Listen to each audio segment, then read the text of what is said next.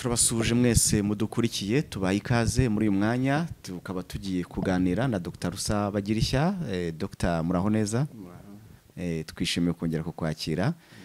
Yego. Hanyuma rero turifuza ko tuganira eh, ku burasirazuba bwo hagati ndetse na politiki mpuzamahanga irebana n'u- n'uburasirazuba bwo hagati muri rusange muri iki gihe. Hari intambara iri kuba muri gaza israel ikomeje guhangana na hamas muri gaza abaturage b'abasivile bakomeje gupfa umubare ni mwinshi ibihumbi makumyabiri na bitatu birarenga ariko ku rundi ruhande eh, mu gihugu cya yemen hari abantu bitwa abahutis cyangwa se abahuti. Aba bantu rero bateje ibibazo bikomeye mu nyanja y'umutuku cyane cyane mu bwato bw'ubucuruzi ku bwato bw'ubucuruzi bunyura muri iyo nyanja muri mer rouge eh, ubwato bw'ubucuruzi buba bwikoreye ibicuruzwa biva ku byambu bya Israel baza ahagana hepfo. Aha rero abahuti bateye icyo nakwita eh, icyo nakwita wenda nka operasiyo zihariye buri bwato bunyurayo bari kuburasa ariko amerika yaravuze iti ibi ntibyakomeza. None amerika na yo yabakijeho umuriro Eh, ubu ngubu iri kubarasa nabo bikomeye cyane iri gusenya ibirindiro byabo iri kubakubita umuriro. Ibintu ntabwo bimeze neza ku bahuti babasubiranye inyuma baba- babahindukiranye. Nagira ngo nkubaze dogiteri ubundi uratekereza ko ibi bizarangira bite bizarangira uko byaje? Aho iyo uvuga uti byaje gute? Byaje gute? Amerika ikurikiranye byaje muri mirongo ine n'umunani. Bashyira bariya bayahudi hariya. Kwari ukugira ngo bafite amerika igira akabako kuri purushuriya ntabwo ari amerika gusa no gusida yose n'abongereza ntugatandukanye amerika n'abongereza ubu ngubu noneho muri iki gihe uretse ko ari ibya kera buriya eh, ubwongereza ntibwize kuba na rimwe buri ku burayi. Ntibaze ngo ibibazo bibacu gusa.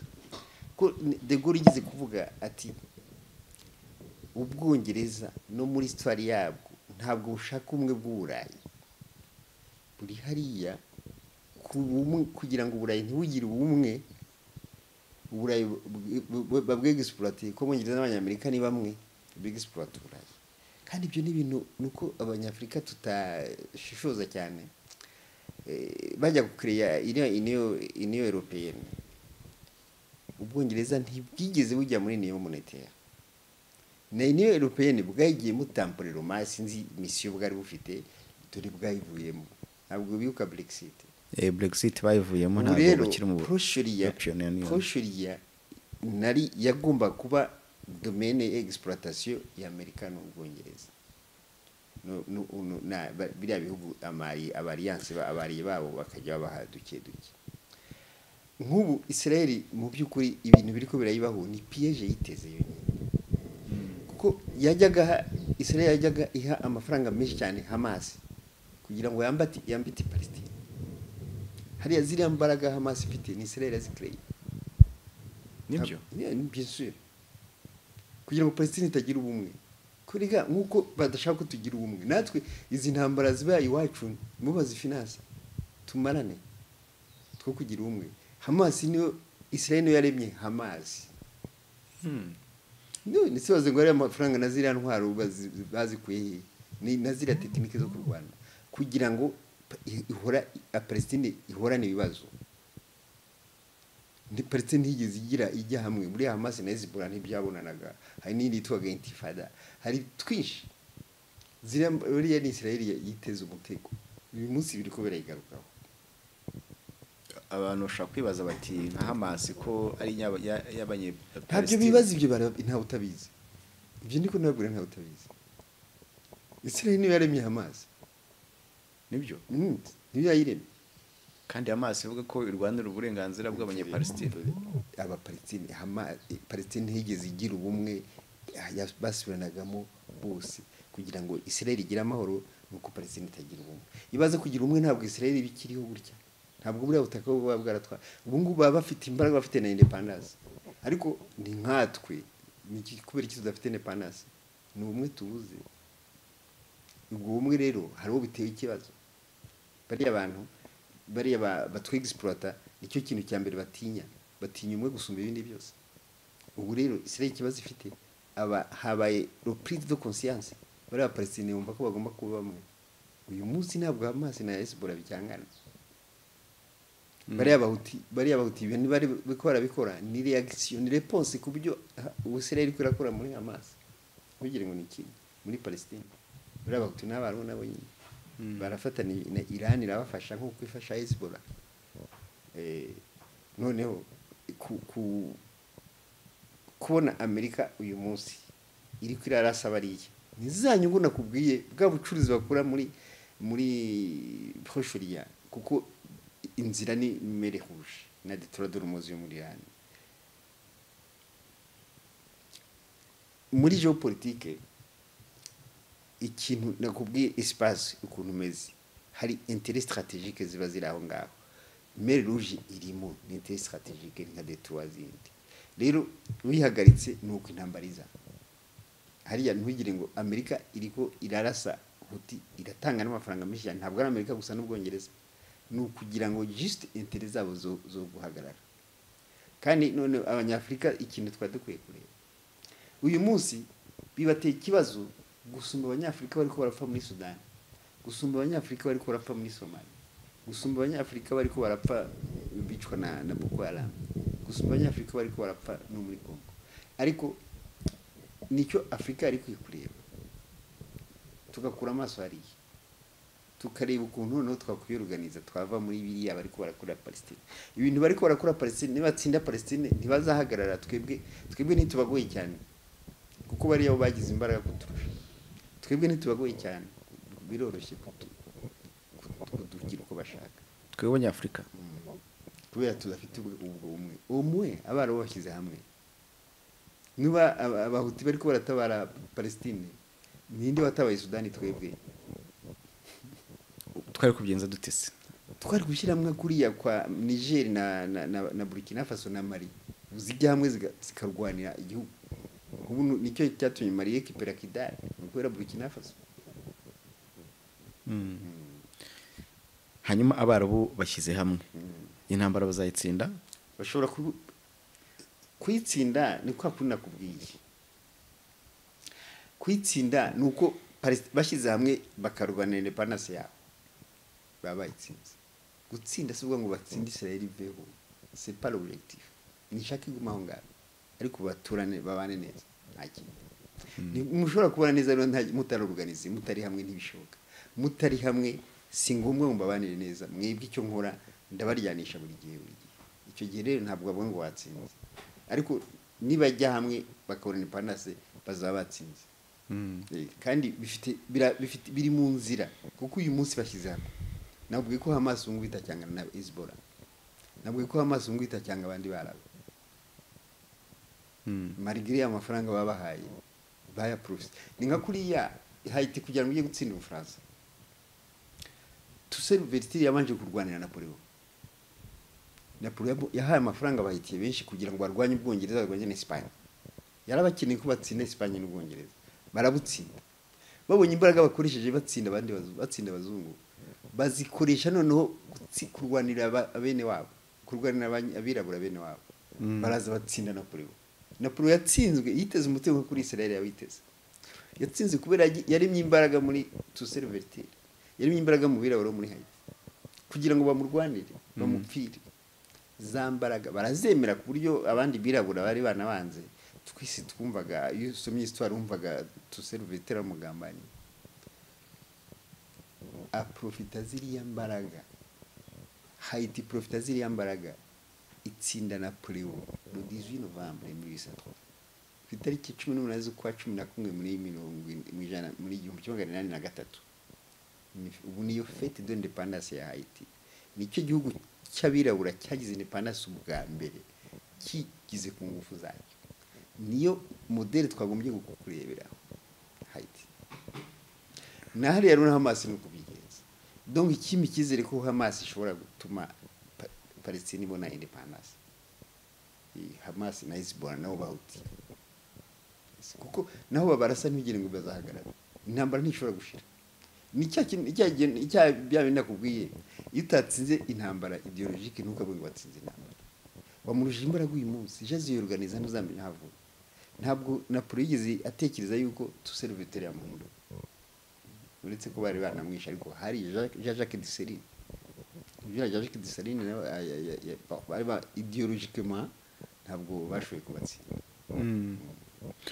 Eh, hamasi imaze eh, ubu ngubu batangiye kurwana mu, kwezi kwa cumi ku itariki zirindwi nyuma y'uko hamasi ikoze ibitero bitunguranye bigaba kuri israel ni bwo israel yabasubiranye inyuma ijya itangira kubahiga bukware ndetse nyine no kubarasaho yaba ari za misile za roketi zo mu kirere. Eh, kuva icyo gihe kugeza uyu munsi baracyarwana haracyari intambara muri gaza. Hari abavuga ko Israel na yo yashegeshwe iri gushegeshwa abasirikare bayo bari gupfa ndetse kandi bakanavuga ko hari n'abacancuro Israel yazanye. Hari ifoto nabonye mu nyamakuru mpuzamahanga bafatuye umugabo wo muri Ukraine w'umusirikare waje guca inshuro ku ruhande rwa Israel bakavuga ko Israel na yo abasirikare ba- bayo bari gupfira hariya ndetse hari n'abavuga ko ishobora kuba iri no gutsindwa uriya rugamba. Wowe witekerezaho iki? Kuri ibyo kuko ni byo nabwo kuba tugitangira. Ni ubwa mbere muri sitara ya israel igira intambara imeze gutya. Igitangaje yarwanye n'amanasiyo yarwanye n'amaleta eh, yarwanye na organization nka Ligue Arabe irazitsinda. Ariko uyu munsi nakubwiye ko yiteze umutego. Niyo kiyantrainera Hamas kugira ngo ifashe kurwanya bene wabo ubu bene wabo hari ikintu bita conscience. Ni na cyo kimwe icyizere ko muri afurika tuzagira reprise de conscience. Ibi turi ko turavuga. Afurika igize reprise de conscience.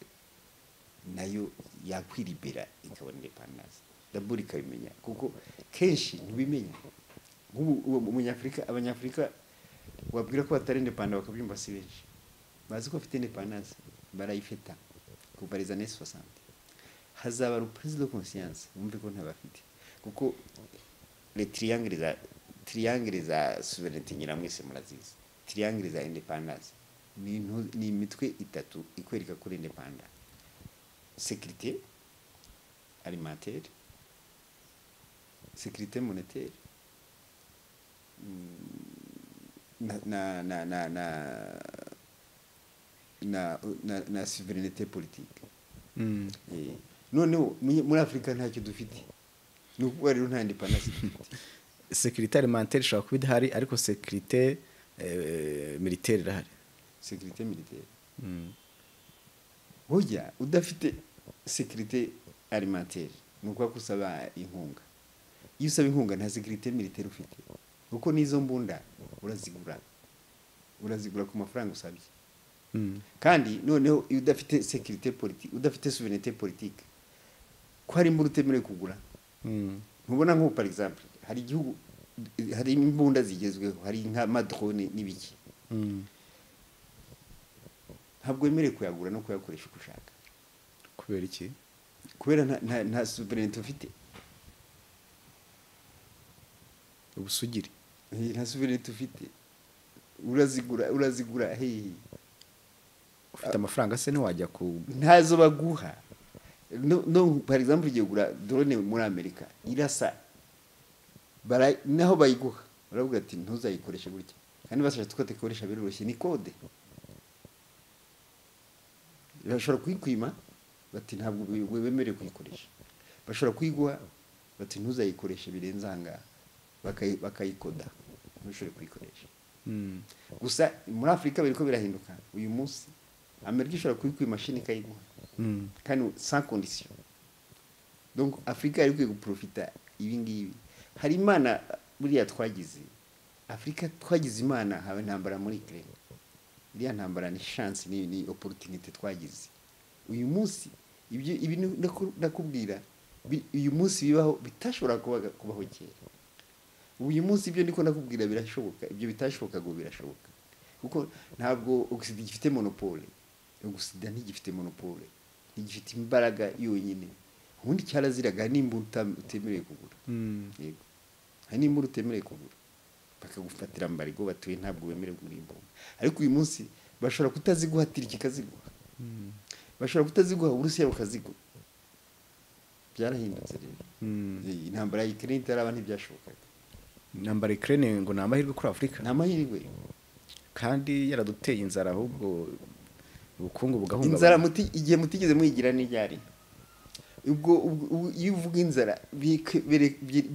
birakwereka ubwikunde bw'abanyafurika inzara ninde wakwibagirwa inzara yo muri mirongo ine na kane yo muri etiyopiya ninde wakwibagirwa inzara zabaye muri somali ninde wakwibagirwa inzara zabaye muri sudani?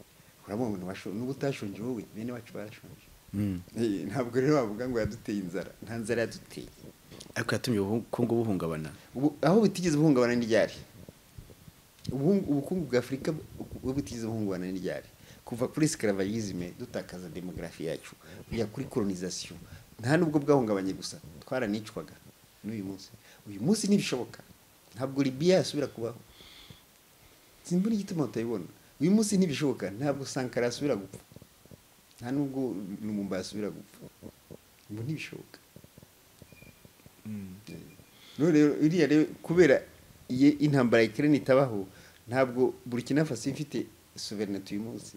Ntabwo Mali bikiriho ntabwo Niger barirukanye abafaransa. Ntabwo byari gushoboka. Mm. rero sinzi igituma mutabibona ko twagize imana iriya ntambara ibaho. Mm. hanyuma dusubiye muri proshoriya cyangwa se burasirazuba bwo hagati eh, iyi ntambara urabona ko hamas izayitsinda nk'uko wari utangiye kubitubwira. Kuko hashize nyine igihe barwana kandi biragaragara ko nyine israel nk'uko bivuga ngo yiteze umutego eh, israel yagakwiye kuba yaratsinze nk'uko ababirebera ku ruhande babivuga kuko yajyanyeyo operasiyo yihariye yo ku butaka ifite n'umujinya mwinshi ariko bagezeyo basanga ibintu ntabwo byoroshye. Nta kitakoze kuko mperuka umbabarire si mperuka cyane. Ubu ngubu nagiye nashyize na- nashyize imbaraga cyane cyane kuri gararake muri iyi minsi communication nageraga eh, ni ni iby'abazungu batekereza ku bihugu byacu kuko ubu ngubu gararake niba bahangayikishije mperuka bigeze mperuka bari bageze kuri bombe ibihumbi cumi n'umunani bateraga muri gaza. Amaroketi amaroke amaroketi noneho ukibaza nta objectif ibihumbi cumi n'umunani biri hariya militaire nta objectif militaire zihari. Donc nubwo bicaga abasivili ariko ni kwa kundi abantu bibeshya ntushobora kwica abantu ngo bamare ntibishoboka. Ibyo ntibishoboka. Ni iki batagerageje? Erega sinzi ko mubyibuka buriya muri Afrique du Sud bariya abongereza n'abanyaburayi gahunda kwari ukwica abazuru babarangize ariko byarananiranye iriya myaka mirongo n'itatu ya apartheid kwari kwica abazuru mu buryo bushoboka bwose. Bakabarangiza. Yego. Batera indwara babarase babarangiza ariko ntibikunda. Na israel buriya ashaka kurangiza. Na netanyahu arabivuze. Ko bashaka kubarangiza burundu ntibyashobotse. Rero israel ishobora gutsindwa Ibi- ibiri suetabule nuko yatsindwa gutsindwa stadile si ukuvuga ngo itsindwe iveho. Si ukuvuga ngo bapfe bashire. Ariko umwe bamenye ko n'abandi ari abantu. Babane neza. Basubize teritwari zabo. Babahe bareke bagire independence. Rega nuko rimwe na rimwe mwirengagiza isi yagiye hariya muri mirongo ine n'umunani. Uwo mwaka bayihaye independence. Palestine ntibatuma igihugu na rimwe. Muri mirongo ine n'umunani. Kuva muri mirongo ine n'umunani kugeza uyu munsi. Ariko ni injustice internationale mutajya mumenya. Mwe muzi ko habaho ubutabera. None se ntihari urukiko rwarahe? Ubuzarebe ko israel bayifatira ibihano. Ntabyo bazafata hanyuma mukavuga ngo hari ubutabera. Ku rundi ruhande nubwo wenda hari abavuga ko eh, hamas iri kugaragaza imbaraga ariko hari abandi bav- bavuga ko israel ahubwo ifite umugambi wo kurangiza burundu hamas ndetse bagafata gaza bakayiha ubutegetsi bashaka bakayigenzura. Hari n'abavuga ko bizanarangira n'ubundi gaza ibaye iya israel. Oya iyo migambi iyo migambi bayifite kuva kera. Ntabyo bazashobora ntabwo uyu munsi bari bazi ko bahura n'ibibazo bingana gutya. Iyo migambi bayifite kuva kera. Nubwo bayihaga amafaranga bagira ngo bafashe palestine iveho. Noneho palestine yo kwiyoruganiza bicwe n'abandi ba palestine. Bo ababo ntibapfe. Uyu munsi ko bimeze? None ikintu ki- gishimishije abayisirayeli bavuga uwo mugambi bafite ntibawufite bose. Hari abayisirayeli ba nabo badashaka ibyo ngibyo. Hari igice cy'abayisirayeli badashaka ibyo netanyahu ashaka uyu munsi. Iyi rero ni sinye nziza iyo deja abo mu rwanda badashyize hamwe ni sinye nziza. Iyo mwaparuvenye kubacamo ni sinye nziza cyane. Ubisirayeli ntabwo igishyize hamwe nk'uko yashyiraga hamwe kera. Ziriya ntambara rwanaga iminsi itandatu ikazirangiza babaga ari nk'umuntu umwe. Reka ubumwe ni ikintu gikomeye cyane. Niyo ntwaro ikomeye ibaho. Gusumba izindi zose. Yes ubumwe ni ikintu gikomeye cyane. Aba barabu uyu munsi igituma bari- kuba rezita kuri sereri bashyize hamwe. Ntabwo hamasi cyangwa na esipora Eh, ubu aba- abahuti bararwana ku barabu bava muri yemen. En fait plus uri urahangayikisha abantu utuma bibuka bakamenya ko umwanzi ni uyu noneho. Ikibazo cya afurika dufite ntituramenya umwanzi. Umwanzi wacu ni umunyafurika nuba igihe nawe turi ko turarwana muri gerisipiri uduteranije ntabwo ari umwanzi ni twe banzi igihe nawe. I- tugomba kumenya noneho ko atari umwanzi wanjye atari wowe. Umwanzi wanjye ni uriya uduteranya uteranya abavandimwe. Icyo gihe rero turamutsinda. Nawe icya- icyo akora ni byo nakubwiye umuntu azanye intambara iwawe akwereka ko ari ku neza yawe. Ukamukunda kuko ari ku neza yawe. Akwereka yuko uriho kubera we. Garasi kuri sekirite ye araguha intwaro zishoboka zose. Ariko nyine zifite limite ariko wowe izuzi. Izuzi araziguha. Eh, ni- icyo kibazo rero buriya abanyafurika dufite. Bo, umva bari kuguma nza kuri afurika Nta kibazo. Mm. kuko ni- ni- ni- niyo impangayikije gusumba biriya byose. Eh, iyo urebye abarabu akenshi ntabwo wakwirenza kuvuga na irani irani na yo ifite ukuntu bayishinja gufasha iyi mitwe yose yaba ari hamasi yaba ari ababahuti bo muri yemen. Ngewe murasetse mvuga ngo irani barayishinja gufasha abo bantu. Kudashinja amerika gufasha ubwongereza. Kudashinja ubwongereza gufasha amerika. Mutajya muvugana rimwe ngo turashinja ubwongereza gufasha amerika. Sesa ni cyo kibazo abanyafurika dufite. Bariya bantu nta na rimwe barwana bonyine. Barafatanya bakatubiraho indimi. Ariko nk'ubu ngubu uvuze uti dore turashinja uburusiya bwa- uburusiya bwanze gufatira ibihano kore di di Nord. dore shine yagumye ihahirana kore di Nord, kikaba ikibazo. Kandi natwe tukabyumva gutyo. Ariko bo gushyira hamwe nta kibazo. Ikirere ibihugu mirongo itatu birayiha intwaro. Ariko kure disidi irani niha intwaro uburusiya kiba ikibazo babaha drone kamikazi donc ni ibyo igituma ngira ngo ni ibyo nawe uvuga ngo barashinja irani barayishinja iki? Gufasha gufasha hezbollah. Barayishinja iki? Twakoresha iyo mvugo. None se ko mudashinja isi amerika gufasha israel? Nayo barayishinja nyine. Ubu ntayo bashinja yo ntayo muvuga na yo na yo turayishinja. Rero bi- biriya bintu twebwe turi ko tugwa mu bintu byatugizeho ingaruka tukabafasha. Mm. kubera kubafasha ni ukuvuga iki? Tudashyize hamwe tuba tubafashije. Ni na cyo bashaka. Dushyize hamwe tuba tubarwanisha rero icyo mudashaka ni icyo. Ntabwo mushaka kubarwanya. Mm. murashaka twe twirwanya Mm. hagati yacu bariya barabo mu by'ukuri ntibinakubabaza ikibabaje ni uko bari ko barasubisa nk'ibyo twabaye kandi iyo bavuye kuri bariya noneho twebwe ntibadushyiraho imbaraga nyinshi cyane turaborohera. Ariko ubundi kontina ihaye amahoro isi kontina y'amahoro isi ni imwe gusa ni afurika kontina afurika uzumve no muri sitwari. Nta yindi kontina yateye ikibazo. Naho yagira imbaraga. Yindi kontina yatera ikibazo. Ku ba- ku bantu batuye kuri iyi si planete nta hantu uzabona abantu bafite ubumuntu nk'abanyafurika. Abo barabumva uzabaze nk'abirabura bajyayo ukuntu bafata. Iyo amerika wumve uzabaze abirabura bari ukuntu bafata. Uzabaze i burayi abirabura ukuntu bafata. Ariko uzumve umunyamahanga uri muri afurika wafashwe nawe uzambwira nta n'umwe. Nta n'umwe. Nta n'umwe. Twebwe ntabwo tumeze nk'abandi bantu ariko ntabyo tuzi. Dufite ubumuntu abandi badafite. Ntabwo urugero ntubona ibihugu byacu hari igihe tugirana ibibazo n'ibihugu duturanye Eh, mwarabyumvise kera i bugande twize gufungana imipaka i burundi twafunganye imipaka kongo twafunganye imipaka. Nk'abanyarwanda bajya i bugande ukumva babafunze babahohoteye. Nk'abanyarwanda bajya bari ugasanga barahangayitse yaba ari kongo ugasanga bahangayitse twebwe umunyamahanga ari hano wigeze agira ikibazo n'indi mu rwanda abanyamahanga barabubaha cyane. Ni umuco mwiza afurika de gararake ari gukopera. Kiriya kikwereka ubuvandimwe umuntu dufite. Niba umuntu ari iwawe ntahangayike kubera ibibazo amaleta yagiranye. Kuko biriya ntibabikureba. Ubundi ntibabikureba. Nari nziza muri kiriya gihugu kubera amarorasiyo mafitanye cyangwa bizinesi makorera cyangwa inshuti mafitiye hanyuma niba leta yagiranye n'ikindi kibazo n'iyi mu by'ukuri ntibikureba. Rero ni umuco mwiza. Twebwe mu by'ukuri twari dukwiye kwishimira eh, ku buryo n'ibihugu duturanye byari bikwiye kudukopera.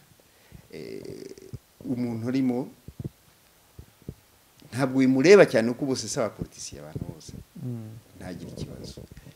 Ibyo rero ntushobora kubona mu yandi makontina uzabaza ariko harimo abantu bagiye kujya basaba akazi mu barabu sinzi cyane cyane abakobwa. Uzakurikire wumve ukuntu babayeho bagufata nk'iki? Igisimba bagifata neza? Baraguha ibiryo bakuburiye ku meza? Baragukoresha ibintu utazi ibyo ari byo? Hari n'abapfa.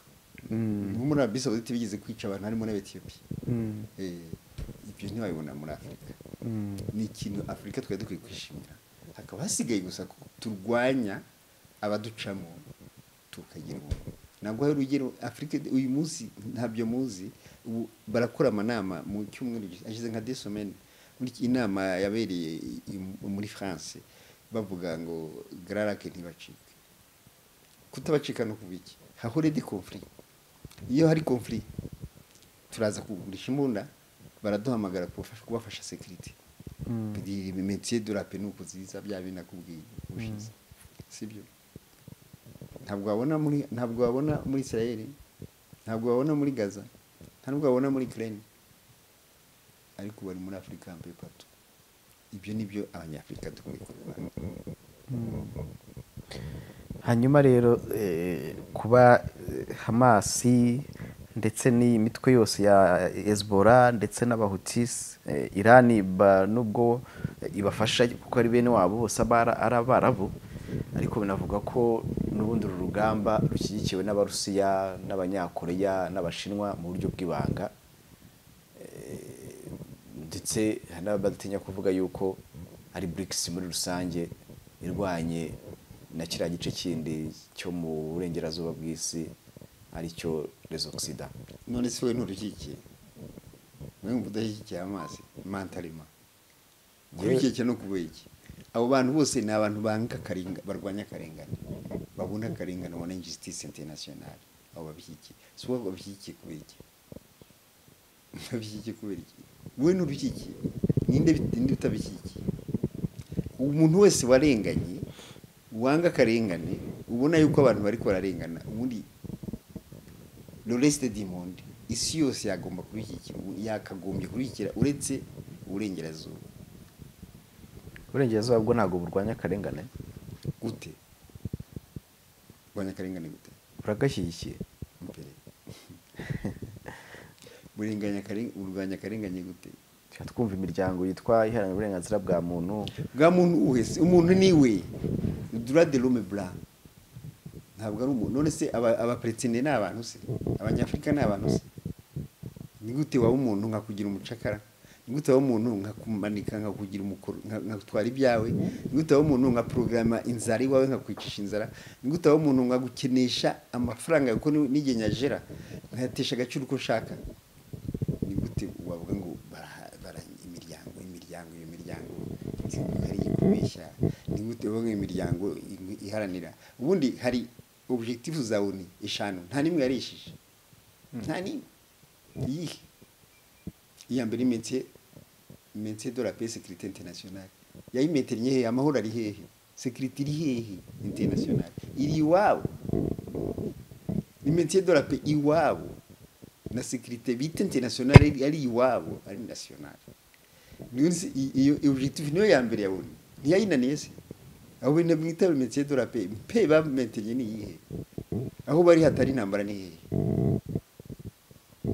Rero ikikubwira ko atari iby'iwabo iyo métier de la paix iyo les casques bleus. Zavukiye muri afurika donc c'est pour l'afrique.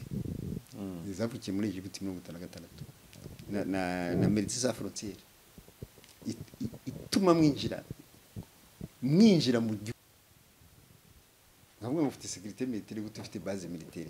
Ufite les métiers de la paix. Bavuga ngo ufite sécurité militaire. Gute ubu rero nta sécurité militaire ufite ibihugu by'uburayi byose birimo amabase militaire y'abanyamerika sauf la France Mu Gaulle Bufaran- yarabyanze mu Bufaransa nta nta base militaire iriyo ntayo. Y'abanyamerika? Gaulle yarabyanze mu Bwongereza? Mu bwongereza se ubwongereza na amerika ntuzongere kubitandukanya uzambabarire ntuzasubire. Yego yego. Eh, ni ariko nko mu budage hari base militaire magana inani z'abafaransa. Mm. ahandi hose zirahari. Par rapport y'abandi bafaransa yarabyumvise. Kuko amerika yashaka gusenya uburayi ko n'igihe cyo muri mirongo ine na kane birantangaza sinzi nti- ntibajya banabivuga abanyamerika bageze i burayi de normandi bishe abafaransa benshi gusumba abadage bishe Mm. yego Gaulle ibyo arabizi Mm. Kwi- kubera iki bashaka gusenya uburayi bashaka gusenya uburayi ngo bazamuke Mm. babu- puissance ya- yabo ntabwo ari kubaho uburayi bwari puissante ntabwo amerika ari kuba puissant uburayi. Eh, niko bigenda muri puissance isenya iri kugira ngo ibeho. Mm. no mu kiganiro giheruka ubwo twavugaga kuri Adolf Hitler uyu mudage wabaye icyamamare bitewe n'ibikorwa bitangaje eh, wanatubwiye ko nyine ibikorwa byiza. Eh, ni byiza koko ku banyamerika kuko ngo ni byiza no yabafashije gute dogiteri twebwe twabigizemo izihe nyungu nkeka ko byagiye byaba inyungu kuri amerika kugira ngo ifate yuko puissance wibwira ko iyi decolonisation batubeshye ari kubaho erega nuko mutazi objectif za colonisation. Biriya ibihugu byari ibyabo jusqu'à l'éternité. Ariko uburayi busenyutse kuko iyi colonisation yari uburayi sibyo? Mwese murabyemera. Bwari uburayi. Uburayi busenyutse ni bwo wari ugifite imbaraga. Hazi- haje izindi mbaraga. Uburayi hitler icyiza yakoze yarabusenye. Kuri twebwe. Yasenye uburayi mbese umuntu umuntu une- unesheje umwanzi wawe ni gute avuga ko atakoze byiza abamwita ikigwari. Niba ariyo nyine yayatesheje ntabwo ari twebwe twebwe isi yadutwaye. Mm. hitler yadutwaye. Iki? none se sinzi igituma ndumva tumaze kubiganira kenshi. Hitler si wakoze si we wakoze jenoside muri namibi Mm. hitler si we wishe miliyoni icumi muri kongo Mm. si we waciye ibiganza abanyekongo Mm. si we wasahuye kongo hitler si we wakoronije wadukoronije Mm. ubudage buriya bwinjiye muri kolonisation nyuma nyuma nabwo bubitiwe n'iriya conference bakoreye Mm. eh, basa nkaho kuko projet yo koloniza ya- bashaka babishyire hamwe bose babyumvikaneho basa naho nabwo babwempiritsemo kuri ya conference de Berlin nta nubwo ariyo yagabanije Afurika si yo yagabanije so yaciye imipaka. Mm. rero twebwe twari tuzi yuko abazungu ari nk'imana badatsindwa. Hitler yabatsinze tubona ko ari abantu nk'abandi. Noneho bituma imbaraga z'uburusiya zi- zi- zi- zizamuka kuko nizo zatsinze hitler. Baravuga ati nimvuye mu bihugu by'abandi. Ni batu- bazanye ikintu bise decolonisation Mm. kitari cyo. Wowe ntabwo ucyemera. Mwebwe ntabwo muri muri decolonize mwebwe. Ntabwo mwese hari abakoroni tukibona.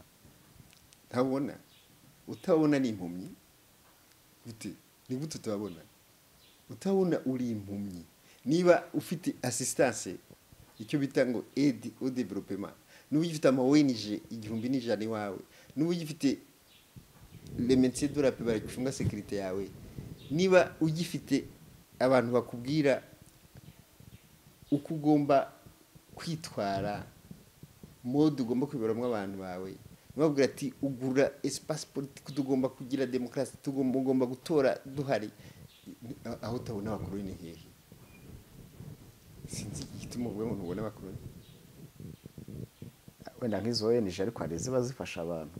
Gufashwa deja ni colonisation gufashwa kubera iki? Uri kimuga. Ça Ni- n'izo coloniza- n'izo nyine utabona kutazibona deja ni colonization uri colonize deja ko utabibona. Kumva yuko gufashwa bigushimishije. Deja ntabwo ndacyari mu bukoroni ngewe n'abandi bagenzi banjye umuntu wese yumva ko dufashwa tugomba gufashwa. Yumva ko tudashoboye kwifasha tudashobora kubaho tutari kolonize. Gusa ikindi ni iki ushaka? Umva mu buzima bwawe ukeneye umuntu ugufasha. Mu buzima bwawe ukeneye umuntu ucunga sekirite yawe niba ngufasha ndagucungira n'umutekano. Ubwo se aho utabona ubukoroni ubukoroni buracyahari nk'uko bisobanura ahubwo buri grave gusumba n'ubwa mbere. Niba ngomba gukoresha ifaranga ugomba gukoresha ifaranga nakoreye iwanjye nkagutegeka uko urikoresha ni nanjye ndiha agaciro. Ubukoroni butarabwo ubwo ubukoroni buzarangira cyangwa tuzakomeza tu kuko nk'urugero impamvu nkorera ikibazo ni uko iyo ndebye ibihugu byinshi bya afurika ntabwo nyine birihaza mu bukungu. Biracyakeneye izo nkunga zo mu mahanga. Kuko urebye nko kuri bije nasiyonari y'ibihugu bitandukanye byo munsi y'ubutare bwa sahara usanga hejuru ya mirongo itanu ku ijana baba bateganya izo nkunga izo nguzanyo zituruka mu bihugu by'amahanga harimo izo za IMF cyangwa se FMI ndetse na banki y'isi ndetse n'ibindi bihugu byo Burayi nyine bifite ubukungu buhambaye. Umuntu akibaza ati uku kwihaza mu bukungu biza- bizabaho ryari kugira ngo iyo dekolonisation ibeho? Ibihugu by'uburayi bifite ubukungu se butu- buto ibihugu by'uburayi bifite ubukungu ni ibihe hari ibihugu by'uburayi bifite ubukungu? Gusumba ibya afurika ariko bitera inkunga afurika. Oya gutera inkunga n'ubukungu biratandukanye.